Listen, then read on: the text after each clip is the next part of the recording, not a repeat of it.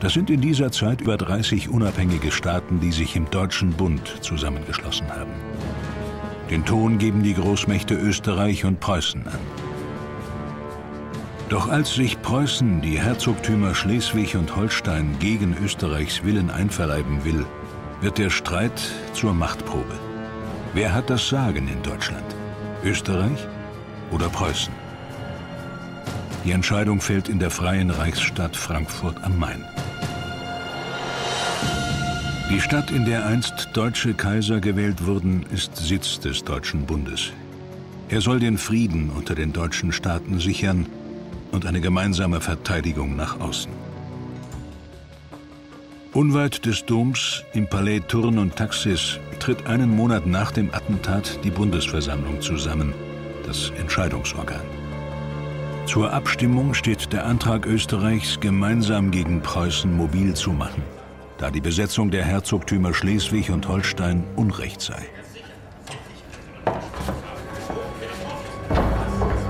Auf ihn richten sich alle Blicke. Der preußische Gesandte Karl Friedrich von Savigny welche Instruktion hat ihm Bismarck mitgegeben? Den Vorsitz hat der Gesandte Österreichs. Zur Abstimmung. Im Namen seiner Majestät des Kaisers von Österreich stimme ich dem vorliegenden Antrag zu. Und nun hat der Gesandte Preußens das Wort. Im Namen der Regierung Preußens protestiere ich vehement gegen diese Abstimmung, die ohne Zweifel einen eindeutigen Bruch des Bundesrechts darstellt. Wir nehmen den Protest zu Protokoll. Als nächstes erteile ich das Wort dem Gesandten des Königreichs Bayern. Im Namen meiner Regierung stimme ich dem Antrag der kaiserlich-österreichischen Regierung zu. Der Gesandte Preußen ist isoliert. Königreich Hannover? Dafür. Die Fürsten wollen keinen deutschen Bund, der von Preußen beherrscht wird. Württemberg? Dafür. Mit neun gegen sechs Stimmen wird der österreichische Antrag auf Mobilmachung des Bundesheeres gegen Preußen angenommen. Im Namen seiner Majestät, des Königs von Preußen, erkläre ich erstens, Preußen betrachtet diese Abstimmung als Kriegserklärung.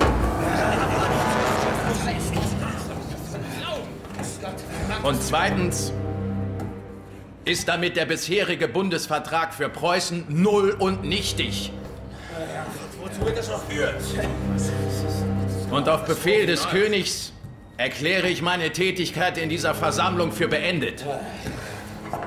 1866, 67 endet der Deutsche Bund weil die Staaten das tun, was eigentlich ausgeschlossen ist, nämlich Krieg gegeneinander führen. Ja, aber die Mehrzahl der deutschen Staaten standen auf österreichischer Seite äh, und äh, Preußen galt gewissermaßen als der Bösewicht, der diesen deutschen Bund verletzt und gegen äh, den man sich jetzt zusammenschließt, um Krieg zu führen. Er beginnt einen Tag nach der Frankfurter Abstimmung. Die Entscheidung fällt Anfang Juli bei Königgrätz im heutigen Tschechien. Damals im österreichischen Böhmen. Auf ihn setzt Bismarck seine Hoffnung. Der preußische Generalstabschef Helmut von Moltke. Sein Plan, getrennt marschieren, vereint schlagen. Die preußische Streitmacht hat er in drei Armeen geteilt. Getrennt kommen sie schneller voran, doch siegen können sie nur gemeinsam. Die dritte Armee aber bleibt im Aufmarsch zurück. Nur wenn sie rechtzeitig zur Schlacht eintrifft, kann Moltkes Rechnung aufgehen.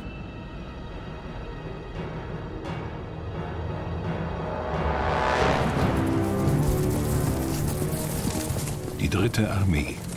Sie naht im Eiltempo. Gegen Mittag, gerade noch rechtzeitig, erreicht sie das Schlachtfeld.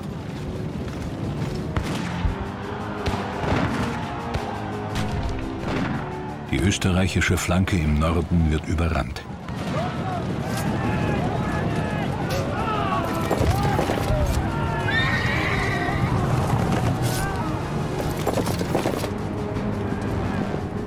Den Österreichern und ihren Verbündeten bleibt keine Wahl. Wollen sie eine Umklammerung verhindern, müssen sie die Preußen durch einen Gegenangriff aufhalten.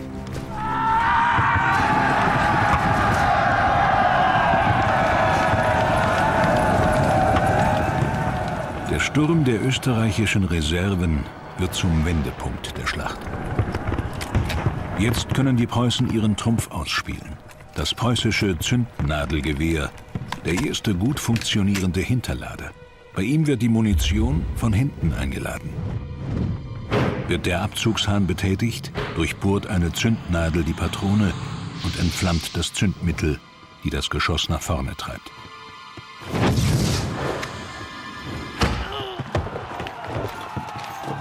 Ein tödlicher Vorteil gegenüber den mit Vorderladern bewaffneten Österreichern.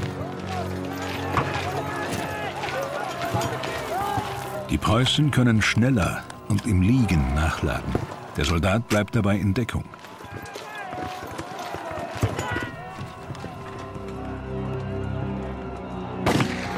Im Schnellfeuer der preußischen Zündnadelgewehre bricht der österreichische Gegenangriff zusammen. In knapp einer halben Stunde sterben Tausende. Ihr Tod entscheidet die Schlacht. Nur knapp entgeht die Armee Österreichs und seiner Verbündeten der völligen Vernichtung. Am Ende des Tages sind rund 15.000 Österreicher tot oder vermisst. Die Preußen verlieren nur rund 2.000 Mann.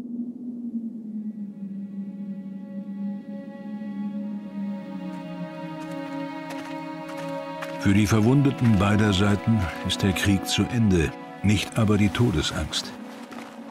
Erst seit zwei Jahren gibt es das Rote Kreuz, das das Leid auf dem Schlachtfeld notdürftig lindert.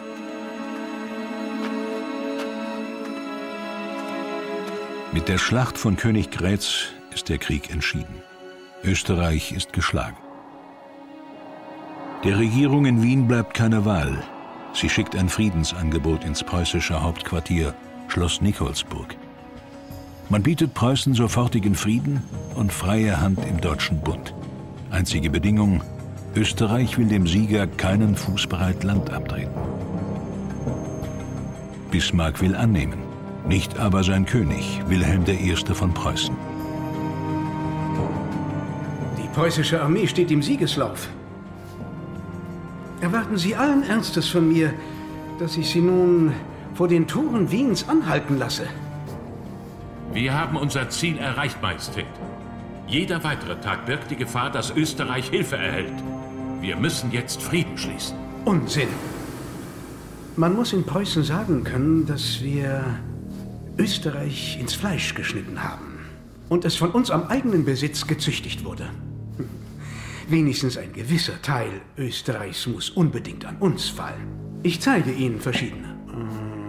Zum Beispiel könnte ein Teil Österreichs Deutsch-Böhmen sein. Ganz unmöglich, Majestät. Österreichisch-Schlesien. Unmöglich, Majestät. Mähren. Majestät, unmöglich. Unmöglich? Ich sage Ihnen, was unmöglich ist. Ein Auftreten wie das Ihre. Die Politik in Preußen wird immer noch vom König gemacht. Sie können gehen. Wilhelm hat ganz schlicht gedacht, wenn wir einen Krieg gewonnen haben, müssen wir Territorialgewinn haben, müssen wir auch einen äh, ostensiblen Triumph erleben und so. Und Bismarck hat viel weiter gedacht. Bismarck hat gesagt, wir müssen äh, sozusagen Österreich schonen, damit wir einen Partner in Zukunft haben. Auf den Widerstand des Königs reagiert Bismarck mit einem heftigen Wutanfall. Er selbst erinnert sich Jahrzehnte später noch daran. Schließlich stellt er den Monarchen vor die Wahl. Falls Wilhelm das Angebot Wiens endgültig ablehnt, wird er, Bismarck, zurücktreten.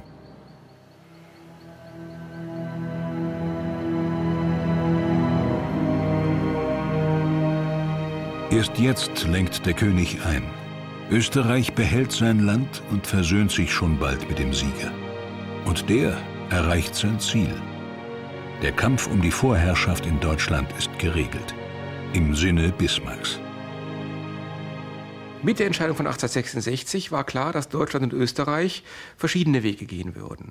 Und das war aus der Perspektive der Zeitgenossen eigentlich eine Ungeheuerlichkeit. Österreich war jahrhundertelang ein Teil Deutschlands. Nun war entschieden, das Deutsche Reich gründet sich ohne Österreich. Und der Weg Österreichs ist ab 1866 ein von Deutschland abgetrennter. Abgetrennt durch ihn, Otto von Bismarck. Der Sieg über Österreich macht den Buhmann zum Triumphator. Sein Sieg ist dem preußischen Vaterland ein Denkmal wert. Die Siegessäule in Berlin. Sie ist bis heute das zentrale Symbol für die deutsche Einigung durch Bismarck. An ihrem Fuß ein Bronzerelief der Schlacht von Königgrätz. In der Mitte die vergoldeten Rohre von erbeuteten feindlichen Geschützen. Und an der Spitze eine Siegesgöttin, die den preußischen Adlerhelm trägt. Ein steinerner Triumph. Das siegreiche Preußen herrscht jetzt in Deutschland. Während Österreich geschont wird, annektiert Preußen Gegner wie das Königreich Hannover und vereinigt sich mit anderen zum Norddeutschen Bund. Doch der reicht nur bis zum Main. Durch ein Veto Frankreichs bleibt der Süden Deutschlands unabhängig. Frankreich war gegen die deutsche Einheit. Das war aus rein machtpolitischen Gründen. Es war die erste Macht auf dem Kontinent. Und dazu sagen, wenn jetzt dieses aufsteigende Preußen, das ja in gewaltigem Tempo aufstieg, wenn das nun nochmal triumphierte, dann wäre das ganz gefährlich. Also wollte man von französischer Seite die deutsche Seite äh, in Grenzen halten. Preußen vor allem in Grenzen halten. Nicht nur Frankreich will Preußen in Grenzen halten.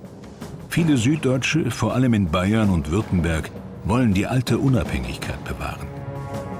Ganz besonders die Herrscher. Erst ein Anstoß von außen bringt die Dinge wieder in Fluss.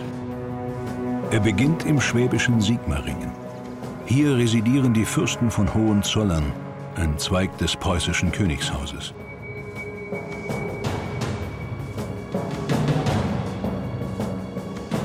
(1870) bieten die Spanier dem ältesten Sohn des Fürsten, Erbprinz Leopold, die spanische Königskrone an. Der Prinz zögert, dann nimmt er an, nicht ganz aus freien Stücken, wie Briefe Bismarcks im Sigmaringer Staatsarchiv beweisen. Nur auf sein Drängen hin stimmt Leopold zu. Bismarck weiß, der französische Kaiser ist gegen einen Hohenzollern auf Spaniens Thron, fürchtet jeden weiteren Machtzuwachs Berlins. Ein Konflikt mit Frankreich aber scheint Bismarck fast unausweichlich, will er den Norden und Süden Deutschlands vereinigen. Mit Leopold provoziert Bismarck Frankreich zielbewusst. Es ging um die Frage, ist diese Lösung von 1866 dauerhaft oder ist sie eine Zwischenstation zu einem deutschen Reich? Und nach Bismarcks Ansicht, und wahrscheinlich ist die unwiderleglich, es brauchte tatsächlich noch den Krieg gegen Frankreich. Die Nachricht von Leopolds Zusage alarmiert den französischen Außenminister Gramont. Ein Hohenzoller auf Spaniens Thron ist für ihn unvereinbar mit der Macht Frankreichs und dem Prestige seines Herrschers, Kaiser Napoleon III. Majestät? Es ist also wahr. Leopold strebt danach, König zu werden. Sehr. Noch ein Triumph Preußens und die Franzosen werden nicht mehr Bismarcks Kopf fordern, sondern den euren.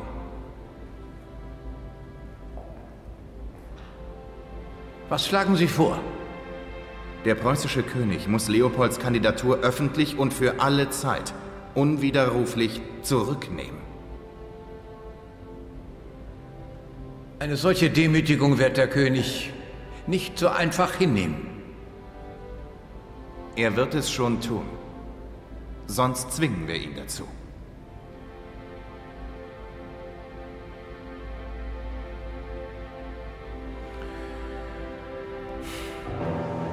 Der Mann, der gezwungen werden soll, hält sich gerade zur Kur in Bad Ems auf.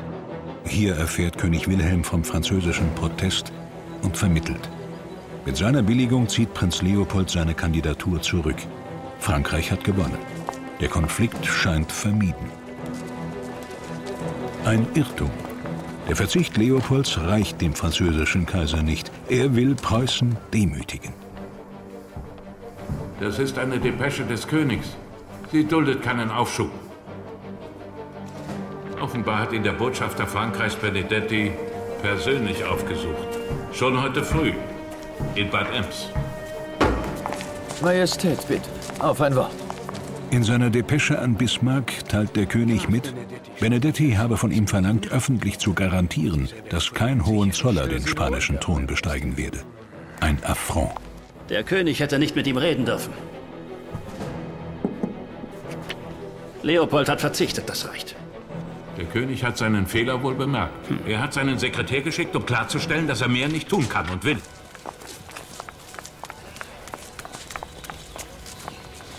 Seine Majestät richtet Ihnen aus, der Verzicht Leopolds sei ihm aus Sigmaringen bestätigt worden. Er habe dem Herrn Botschafter nichts weiteres mitzuteilen.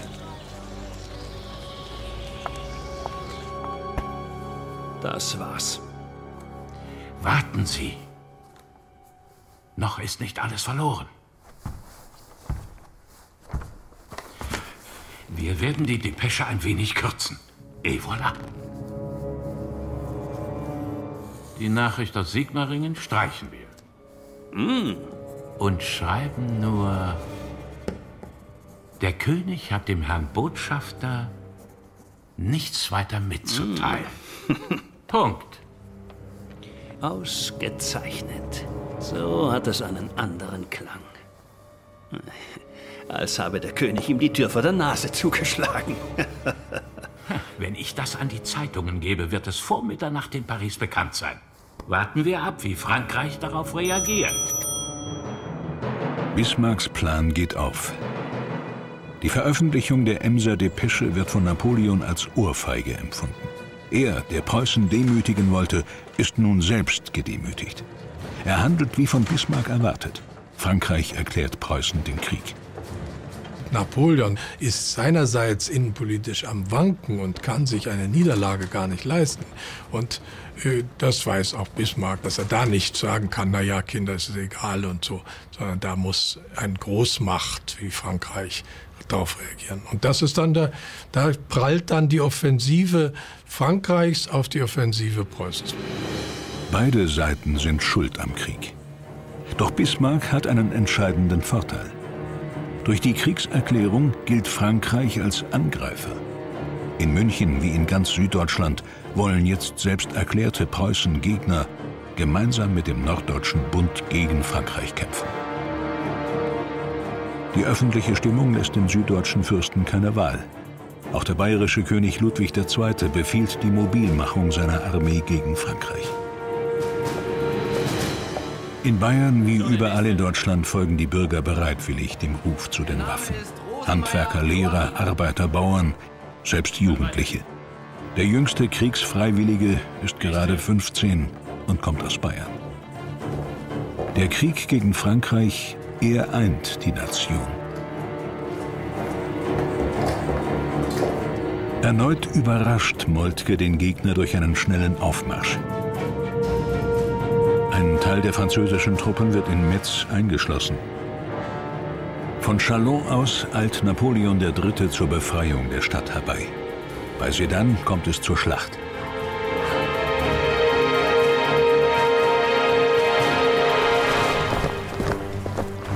Napoleons Streitmacht ist in schlechtem Zustand. Schwere Märsche, eine unentschiedene Führung und zu wenig Proviant haben der Moral der Truppe zugesetzt. Für den 1. September gönnt der Kaiser seinen Soldaten eine Ruhepause. Ein schwerer Fehler.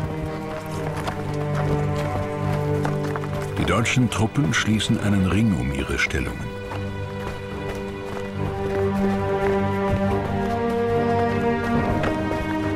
Sie sitzen in der Mausefalle, sagt Moltke. Der Generalstabschef setzt diesmal nicht auf Gewehre, sondern auf Artillerie. Der Einsatz von Geschützen aus der Waffenschmiede Krupp soll nach Moltkes Plan die Entscheidung bringen.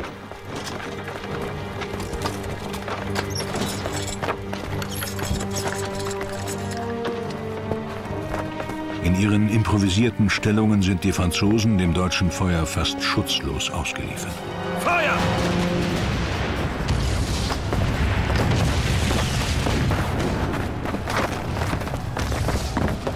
Drei Salven pro Minute, bis zu 800 an diesem Tag. Feuer! Im Trommelfeuer der deutschen Artillerie zerbricht die französische Armee. Regimenter, Bataillone, selbst Kompanien lösen sich auf.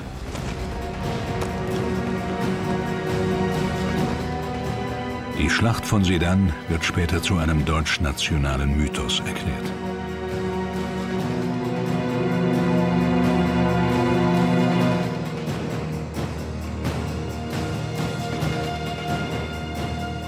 Am Nachmittag des 1. September gibt Napoleon III. auf. Über einem Tor der Festung lässt er die weiße Fahne hissen. Die Schlacht von Sedan war zunächst mal ein militärischer Erfolg. Ein ungeheuerlicher Erfolg. Sie führte dazu, dass das französische Kaiserreich militärisch prinzipiell besiegt war. Militärisch war es ein Sieg, es war aber auch emotional eine große, ein erhebendes Gefühl für die Mehrheit der Deutschen. Man hatte mit diesem Tag von Sedan die Macht besiegt, die seit Jahrzehnten, so schien es jedenfalls, den Deutschen im Wege stand. Noch gilt der Krieg als legitimes Mittel der Politik. So sehen es die beiden Kontrahenten. Auf einer Landstraße vor Sedan kommt es auf Napoleons Wunsch zu einem historischen Treffen zwischen dem Besiegten und dem Sieger.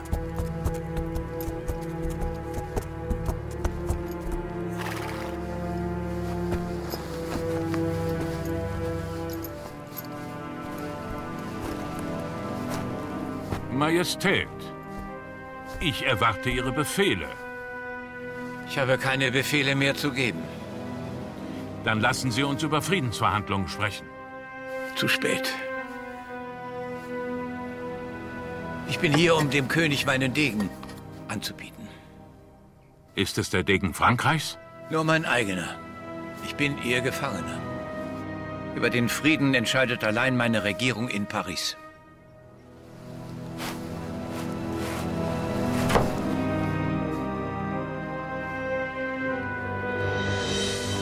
An der Spitze von 100.000 Soldaten geht Napoleon III. in Gefangenschaft. Drei Jahre später stirbt er im englischen Exil. Als die Nachricht von der Niederlage in Paris eintrifft, kommt es zum Aufstand. Das Kaiserreich stürzt. Doch der Krieg geht weiter. Paris wird von den deutschen Truppen eingeschlossen und mit schweren Geschützen beschossen. All das reißt auf Jahrzehnte tiefe Gräben zwischen Deutschen und Franzosen. Befehligt wird die Belagerung von Paris aus dem nahen Versailles. Die Präfektur im Zentrum der Stadt wird königlich preußisches Hauptquartier. Von hier aus werden auch die nächsten Schritte zur deutschen Einheit vorbereitet. Bismarck will die nationale Euphorie nach dem Sieg von Sedan nutzen, um die süddeutschen Staaten zu bewegen, dem norddeutschen Bund freiwillig beizutreten. Doch es gibt Widerstände. Um sie zu überwinden, schreibt Bismarck einen Brief an den bayerischen König Ludwigs II. Er weiß, dem Monarchen widerstrebt der Gedanke, sein Königreich in ein geeintes Deutschland zu führen, wie es die Mehrheit des Volkes und seine eigene Regierung wünscht. Und er kennt die Schwächen des Königs und gedenkt, sie auszunutzen. Traumschlösser? Wer soll sie bezahlen? Bismarck mit einer geheimen Millionenspende. Romantik gegen Macht.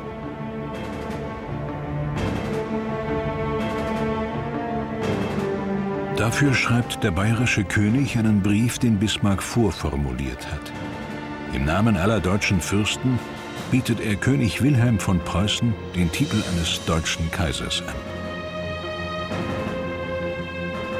Mit Ludwigs Brief in der Hand steht Bismarck kurz vor dem Ziel.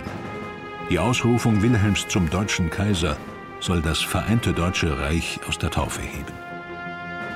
Hm. Und nun ist die deutsche Einheit gemacht und der Kaiser auch. Doch einen muss er noch überzeugen.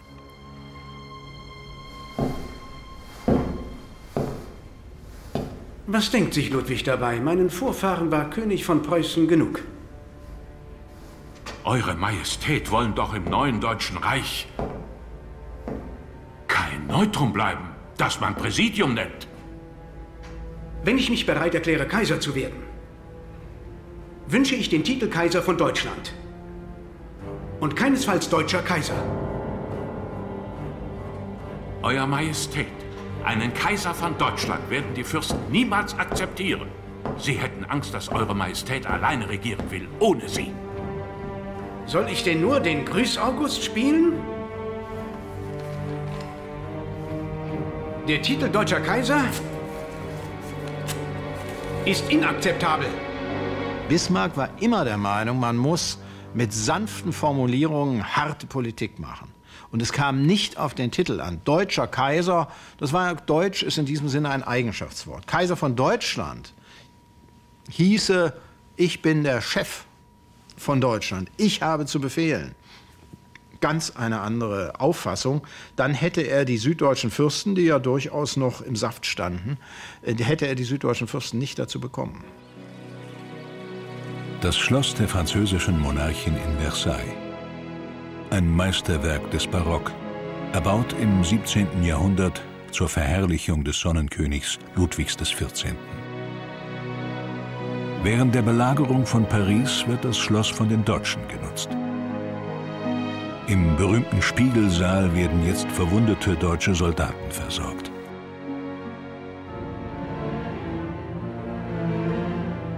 An diesem Tag müssen sie weichen. Hilf mir mal. Was machen Sie da? Befehl von ganz oben. Noch im Krieg, im Land des Gegners, soll geschaffen werden, was Franzosen und Briten schon lange erreicht haben. Danke. Die Einheit der Nation. Und wie ist die Lage? Was denkt der König jetzt? Was hält er davon? Er will noch immer Kaiser von Deutschland sein. Und sonst nichts. Begreift er denn unsere Lage nicht? Wir balancieren auf des Messers Schneide. Kaiser von Deutschland ist unmöglich. Das muss er doch einsehen. Noch kurz vor der Verkündung ist die Titelfrage nicht geklärt. Wird der preußische König als deutscher Kaiser ausgerufen, wie es Bismarck und die Fürsten wollen, oder als Kaiser von Deutschland, wie Wilhelm fordert? Auf ihn kommt es jetzt an. Großherzog Friedrich von Baden, er soll den neuen Kaiser ausrufen. Es lebe seine Majestät! Kaiser Wilhelm!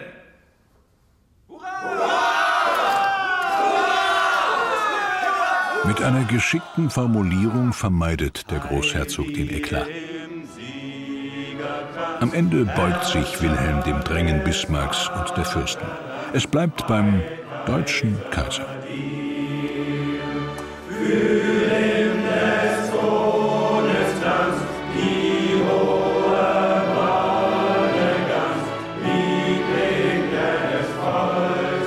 Der Groll des Monarchen währt nur kurz. Den Handschlag nach der Proklamation verweigert er Bismarck. Doch nur zwei Monate später erhebt er ihn zum Fürsten.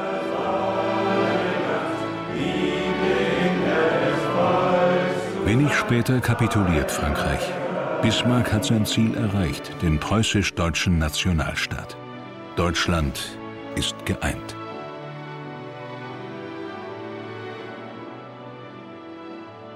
Das Bismarckreich ist 1871 von fast allen Deutschen als Gipfelpunkt der deutschen Geschichte erfahren und erlebt worden. Und es hatte jahrzehntelang das äh, zu bieten, was die Mehrheit der Deutschen wollte.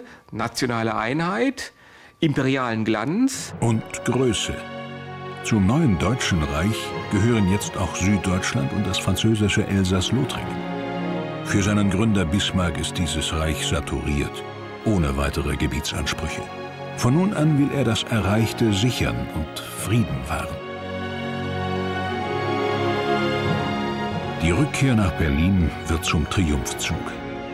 Ein Augenzeuge schreibt, Womit hat man die Gnade Gottes verdient, so große und mächtige Dinge erleben zu dürfen?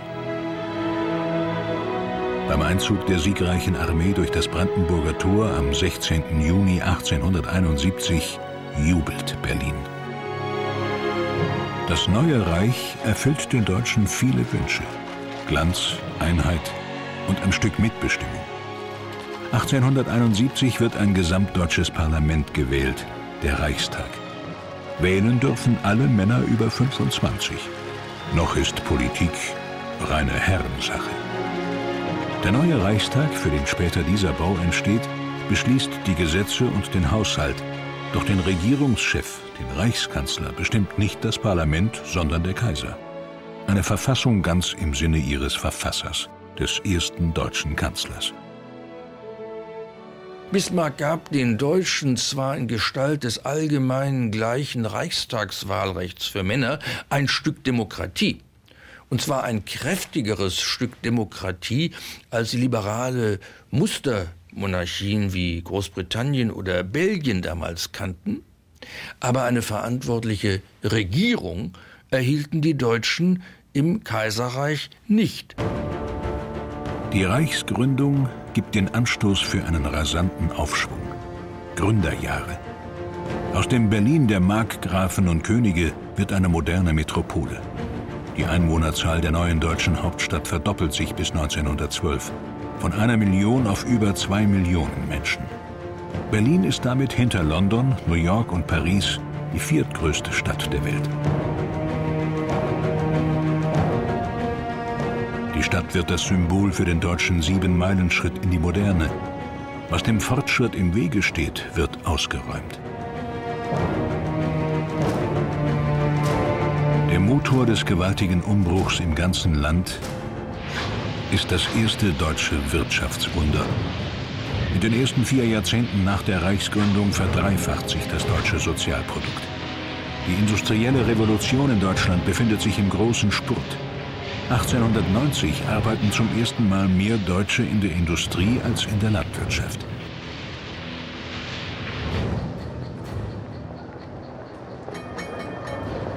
Der wirtschaftliche Wandel schlägt sich auch politisch nieder. In den Mietskasernen von Berlin und anderen Städten wächst eine neue, selbstbewusste Schicht heran. Die Arbeiterschaft. Die Klassenherrschaft, der Klassengegensatz im Hier rekrutiert eine neue politische Kraft ihre Stammwähler. Die Sozialdemokraten vertreten nicht nur die sozialen Interessen der Arbeiter, sondern einen neuen Staatsgedanken. Monarchie und Adel sind für sie Relikte vergangener Zeiten. Die Zukunft gehöre der Arbeiterschaft. Gedanken, die für Bismarck Hochverrat und Umsturz bedeuten. Für ihn sind Sozialdemokraten allesamt Demagogen. Solange die besitzenden Klassen an der Herrschaft sind, werden alle Reformen... Aufmachen! Im Namen des Gesetzes! Mit dem sogenannten Sozialistengesetz lässt Bismarck die Partei verbieten. Ihre Versammlungen und Zeitungen sind jetzt illegal. Bei Verstoß drohen Geldstrafen und Gefängnishaft. Der Sozialdemokrat. Abführen!